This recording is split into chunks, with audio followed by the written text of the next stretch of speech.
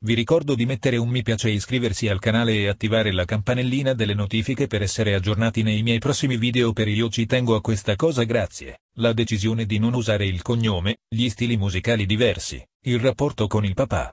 Pietro Morandi, figlio del più famoso Gianni, fa musica da tempo ed ha rilasciato un'intervista a Repubblica in cui racconta la sua professione di rapper col nome 13 Pietro.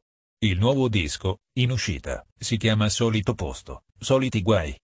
Nato a Bologna nel 1997, è frutto della relazione di Gianni con Anna Dan, l'attuale moglie, Pietro si dice non infastidito dalle domande sul papà. E mio padre, dice, le domande su di lui ci stanno. Certo, precisando che artisticamente siamo diversissimi e che anche per questo ho scelto un nome d'arte. Tanto che sia suo figlio si sa, ma così nessuno mi fa pesare il cognome, che non sfrutto in nessun modo? Tra le questioni sottolineate, c'è proprio la scelta di andare per la propria strada, senza cedere alla raccomandazione facile del papà o ad aiutini vari. Zero proprio.